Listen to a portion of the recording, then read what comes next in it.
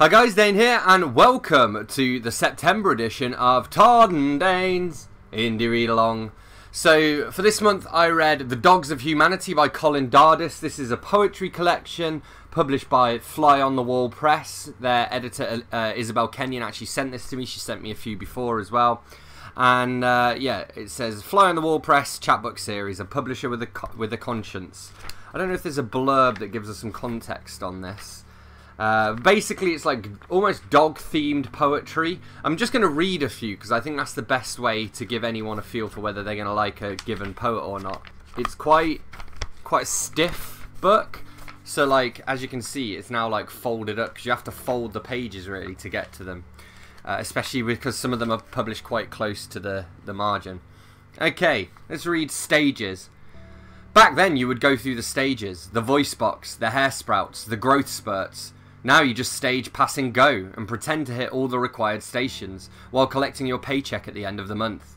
And the thing about a Monopoly board is that it's really a circle, and the only way out is either bankruptcy or jail. Some of us get to land on Mayfair or Park Avenue, but most sure can't afford to stay there very long. The rent collectors are out there with their long knives, and the tax man is looking to take everything you inherited, from your father's shoelaces to your mother's good graces and charm. But I hid everything in a deposit box somewhere, left it to rust, and utilised nothing of my fortune.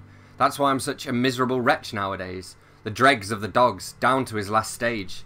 There are no refunds, no guarantors, and no one to underwrite your screw-ups. God is coming to collect, and the riches he expects won't be found in your pockets.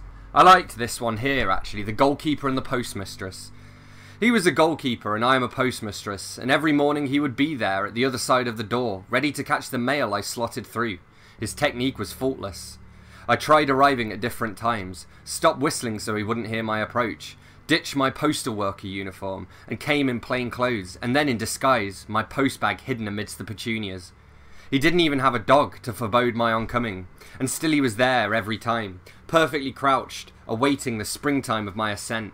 I never heard one of those letters drop once onto his hallway in all my years of delivery, and never found out what was so damn important inside all of his envelopes.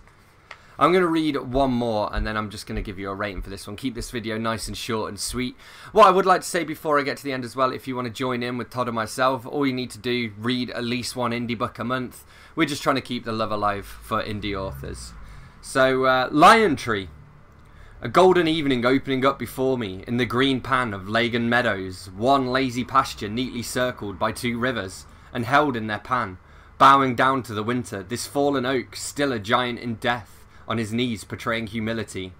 Gone the emperor cloth of leaves, gone the good wine sap from earth. Now his naked roots hanging as unabashed genitalia warmed in the solstice sun. As the ass might approach the elderly, ill lion, I mounted him and proclaimed myself king, with ginger footing, reaching for the sun as a crown. So yeah, I mean, I really enjoyed this, but that's because I enjoy sort of more experimental, more playful, modern free verse poetry, which is what this is. I gave this a 4 out of 5, but I'm sure this wouldn't be for everybody. That said, I did enjoy it, and I'm actually planning on asking Isabelle Kenyon for the uh, other publications here. We have uh, Bad Mummy, Stay Mummy by Elisabeth Horan, The Woman with an Owl Tattoo by Anne Walsh Donnelly, and The Sea Refuses No River by Bethany Rivers. So I'd like to read all three of those. So yeah, short and sweet this month, but that is the indie book that I read for September. As always, don't forget to let me know in the comments what indie books you've been reading this month. Hit that like button if you've enjoyed this video, hit subscribe for more, and I will see you soon for another bookish video. Thanks a lot. Bye-bye.